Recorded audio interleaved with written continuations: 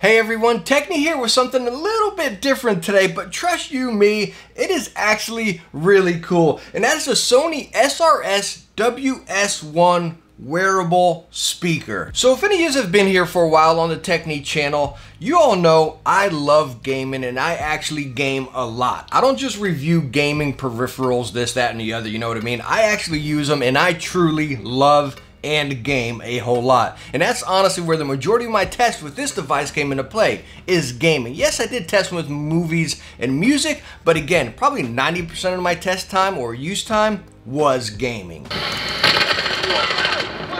Alright, so first off, inside your box right here, you get an absolute ridiculous amount of wires and stuff to hook these guys up. And talking about all these wires right here, it's all for your hookup. You have your charge dock here, you have your receiver, you have two uh, wall chargers or power bricks connected by USB-A, you get an optical cable, you also get a 3.5 to 3.5, then you get a 3.5 to your micro USB to plug in right here.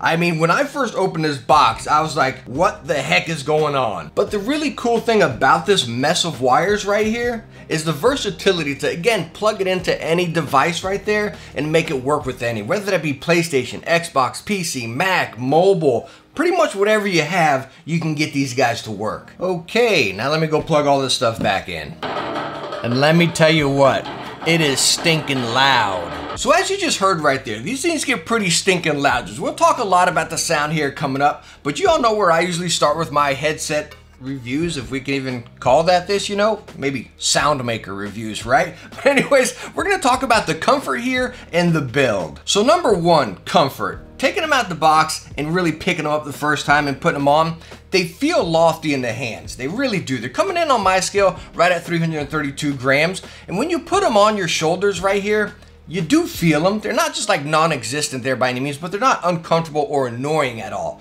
I feel it pressing right over here on my left collarbone just a little bit. Again, it's not annoying or it doesn't hurt by any means, but you do notice it there. Now underneath it here, you do have a little bit of padding, and I mean a little bit. It's right here on the bottom and it goes right over to the back right there but it is enough to really make it feel like you don't have plastic leaning right against you. It's probably about as thick as like a pair of socks, but again, it is enough right there to make it not annoying. And it is also lined with all that cloth material on the inside right there and then plastic on the outside. But this guy is super duper flexible. You can see I can bend it and twist it up and I'm really not worried about it, you know what I mean? It really just flows with the flex. So now let's go to talk about using it and the features on and everything, right? Going back to all those wires we looked at with being able to connect it to pretty much any device right there. And again, when you first pop open a box and you see all those wires, it's almost a little overwhelming. You're like, what the heck did I get myself into? But it's really super easy. Don't get overwhelmed by all the wires. Again, it's just the options that you have in there. You don't have to use all of them. Again, it's just options. Heck, even to the charging cradle right there that I showed you, you don't have to use it.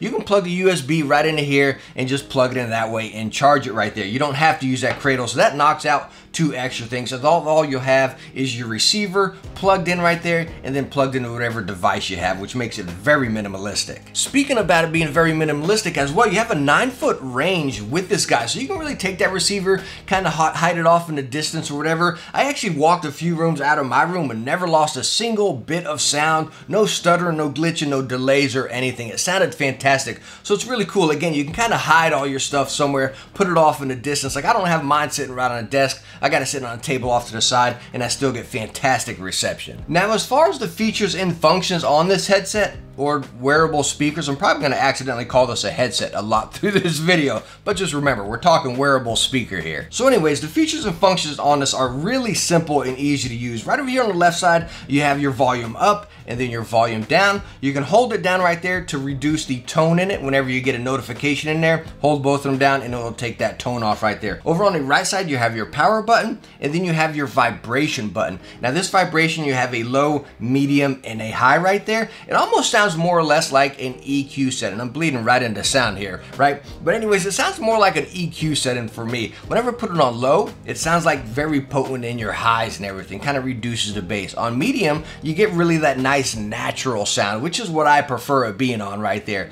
Put it on to the high right there, and again, you're getting into like beach territory, right? Like you feel the thing vibrating on you. You definitely feel and hear the bass.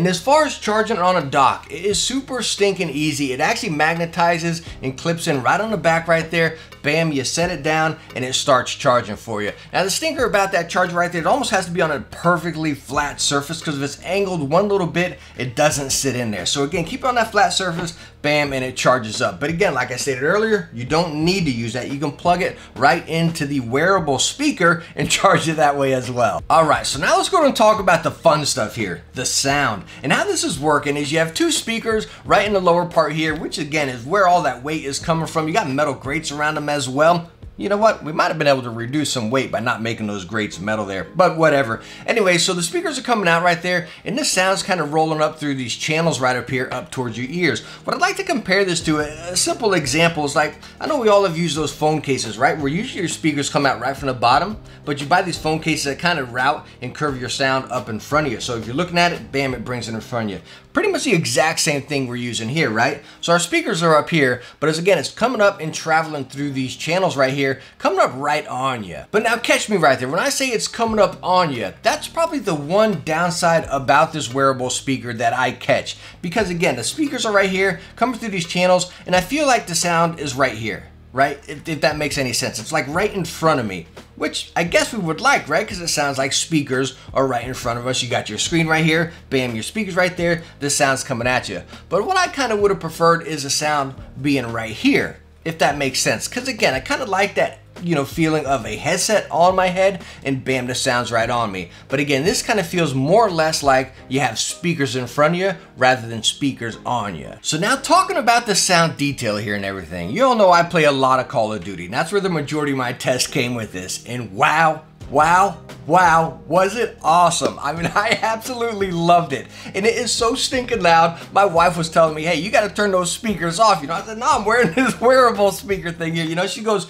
you got to be kidding me. All that's coming from here. They all came in and tested out and they were just blown away by it. But that is also where I kind of put it right there. It's that immersion, that really fun factor, right? Or it's that really kind of just laid back game, right? If I'm just having some fun playing some Call of Duty or like a really good story game or a movie or something like that, you know what I mean? But whenever you get into that like real detailed music or say like a competitive game, that's kind of where it drops off a little bit. I mean, it sounds great on music, it really does. But again, you're gonna lose a little bit of that detail right there. Again, talking about like Call of Duty, if I wanna get real competitive, Rainbow Six, for example, you don't really get that, you know, detail as far as footsteps and directional sound and stuff. I mean, you do get directional sound. Don't catch me there. Like if a grenade goes off over here, that grenade's going off over here, and you're actually feeling it over here. But as far as the little minute details, as footsteps and stuff like that, you're gonna lose all that competitive edge with these. So that's where I put it right there. Is again, if you're just getting on there having some fun, playing a great story game,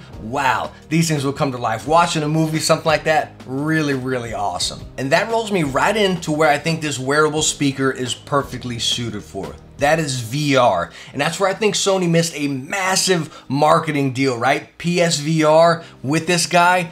This is absolutely perfect, and I think everybody with VR or PSVR needs these. That is exactly what these are built for, it feels like. And that's honestly what I think the perfect suit for this would have been, you know? Again, market it as a PSVR accessory or just a VR accessory in general, considering you use it on any stinking device, you know what I mean? But it's just perfect. You don't got this big tacky headset on you. You know what I didn't like about VR? Again, I had that little mask on right here, then I had a headset on. I didn't know what the heck was going on around me, and I did not like that one bit. You know, someone could be breaking in my house, I got this mask on, waving these things around, headset on, and just robbing me blind. Maybe I'm just paranoid. But with these, it's really cool, because again, you can be immersed into your VR, something like that, still hear the people around you, they can talk to you while you're there looking at your VR on the screen and everything, you're still getting your sound, you can still interact with the people around you, Wow, wow, wow. I can't stress it enough. If you have VR, you need to try these guys out. And putting all that together there, that's where I put and where I recommend the Sony SRS WS1 right here.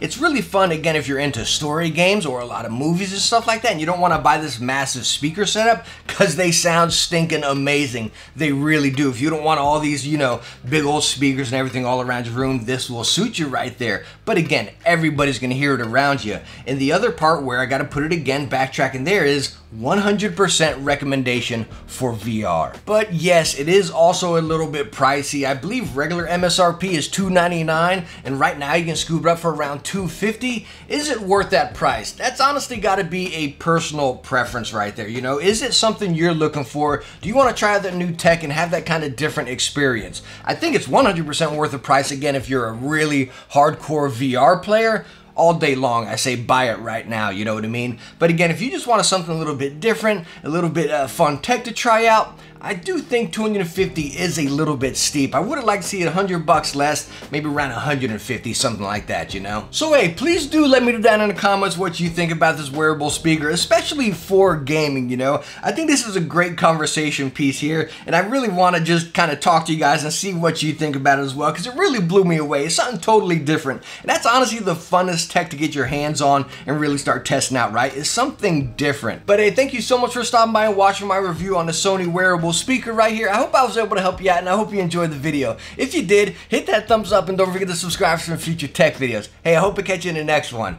Bye now.